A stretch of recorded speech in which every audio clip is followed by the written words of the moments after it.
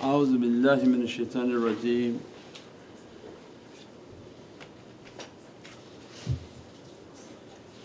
بسم الله الرحمن الرحيم.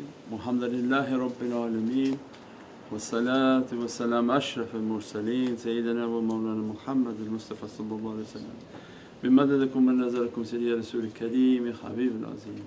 وأنا عبدك العجيز الضعيف ومسكين وظالم وجهد and if by the grace of Allah that uh, I'm still in existence we took a path in which to be nothing that Allah's rahmah inshaAllah to be upon us and to dress us and bless us all inshaAllah and forgive all our shortcomings and wrongdoings and wrong actions. Bismillahir rahmanir rahim ati Allah ati Rasul ulul amri minkum. And Thursday nights we want to talk about the tafakkur and the importance of tafakkur and it is a spiritual channel in which to open up and this line of communication that is necessary for the perfection of one's faith. There can be no real faith without the understanding of the world of light and without the contemplation. People are getting lost in words and saying there is no such thing as meditation because they're thinking this is something from uh, a different culture, something to do with holding a tree, something Allah knows what they're thinking. This is about stopping and from Holy Qur'an none know but the people of tafakkur that to stop and to contemplate and to realize there's a light within the heart, how to bring that light out, bring that reality out and to operate from the soul. That we've said many times there's a hearing, there's a seeing, there's five senses that people are using of the physical but those senses each have a matching spiritual.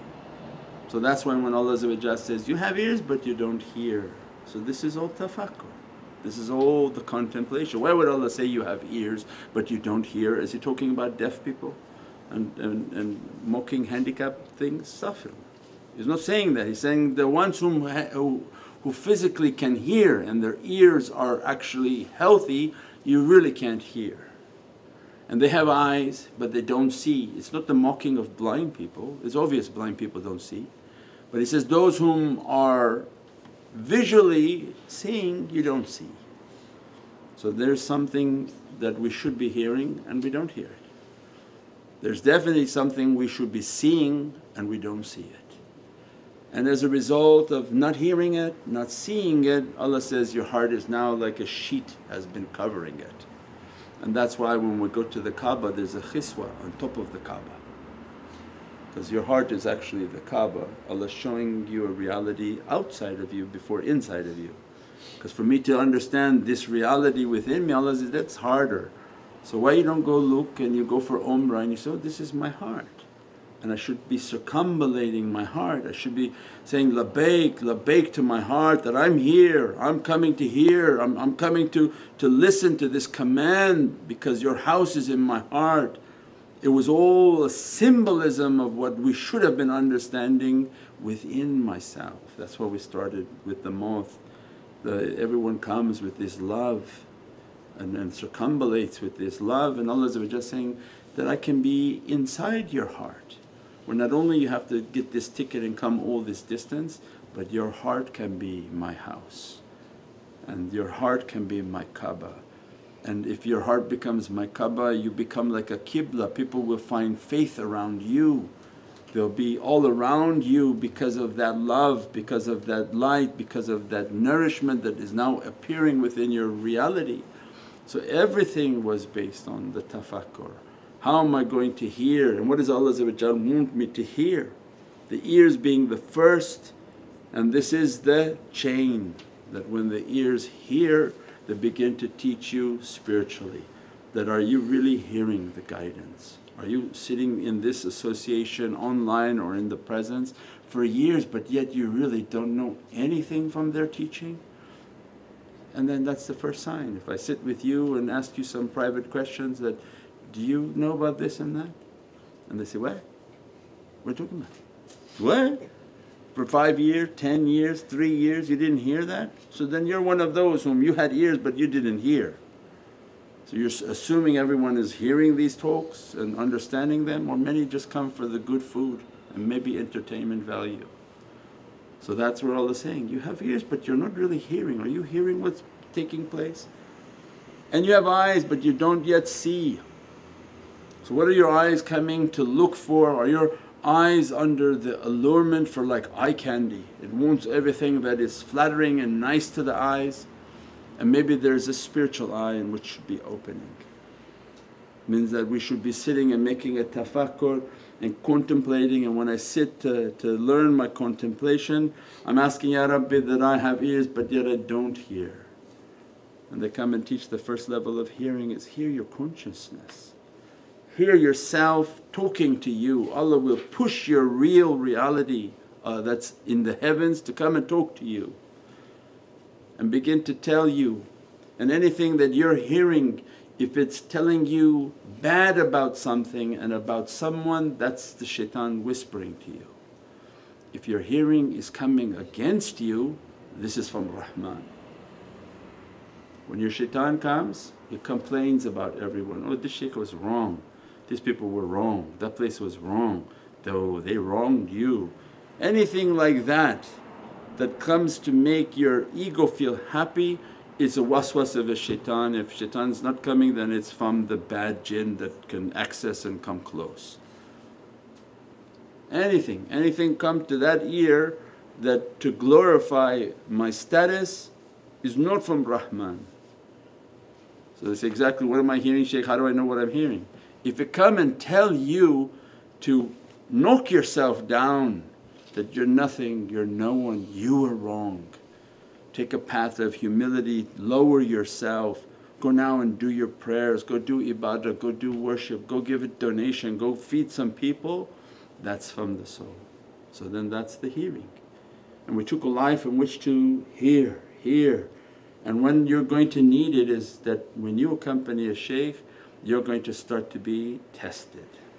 Not the testing of crushing only, then you're going to be able to see that when you close your eyes are you connecting with your soul, are you connecting with that light, are you trying to get all the information necessary for your life and then people will begin to appear within your life. Don't presume everything that glitters is gold. Don't think that everything coming your way is a gift from Allah it's a test from Allah You don't know who's coming into your life, who greets you, who talks to you to take everything away from you, to harm you, to do whatever is the test that's coming. It's not that everything is great that coming to me, oh because I have a shaykh, no. We don't understand what's coming, Allah wants to send a test. Send somebody who's about to empty your account, take money from you and you smile and think that you're going to… the shaykh is not there to cheat for you.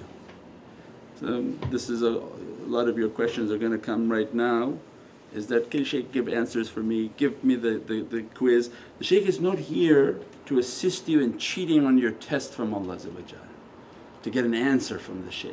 No, no shaykh should be giving you an answer. He should be giving you the tools to make the right choice. It's not about cheating Allah's tests. Oh shaykh tell me, when is the next problem coming? Is this person going to be a problem in my life? If it's real shaykh I said, no, hands crossed. maybe yes, maybe no. You shouldn't have been asking me. I'm not here to help you cheat. If the person coming to kill you, yes, they'll intervene because your life is in, at risk. It means severe emergency, they will intercede inshaAllah with Allah's assistance and permission. But we're not talking about that, we're talking of the day to day activity of nefarious characters in this wonderful play Allah has set up. Like a Shakespearean play. Somebody's coming with a dagger, somebody coming with a story, somebody coming with a book, and then I think I have a shaykh and he's going to help me cheat through the whole game.